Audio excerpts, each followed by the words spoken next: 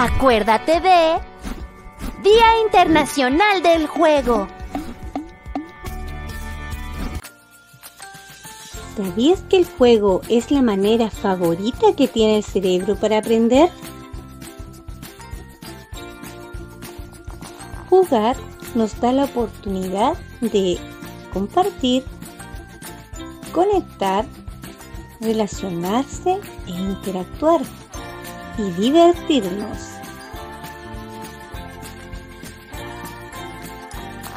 Y es que jugar no es solo una cosa de niños.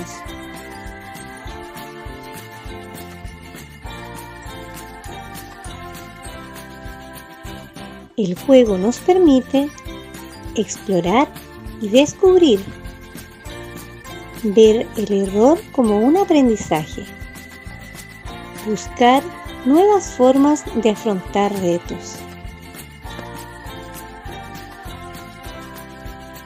Con el juego también podemos desarrollar habilidades tales como resolución de problemas, creatividad, empatía, comunicación, trabajo en equipo, atención, concentración, razonamiento lógico, toma de decisiones, memoria,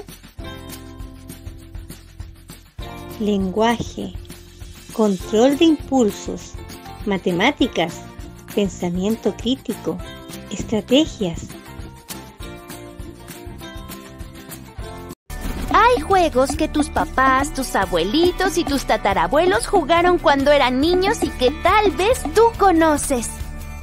Descubre cómo se llaman en otros países. El avioncito es conocido como luche en Chile, golosa en Colombia y rayuela en otros países de América Latina. El gato es conocido como triqui en Colombia, tatetí en Argentina, tres en raya en España y Michi en Perú. Jugar es un derecho de todas las niñas y los niños. Hay muchos juegos que con el paso del tiempo se han ido olvidando, pero eran muy divertidos. Puedes preguntarle a un adulto a qué jugaba cuando él era pequeño. Dile que te muestre cómo era y verás que te diviertes mucho en familia junto a ellos. Graba un video cortito o toma unas fotografías y luego envíalas para que todos los compartamos y conozcamos esos juegos tan entretenidos. Es momento de jugar a divertirse. Diviértete jugando hoy y todos los días.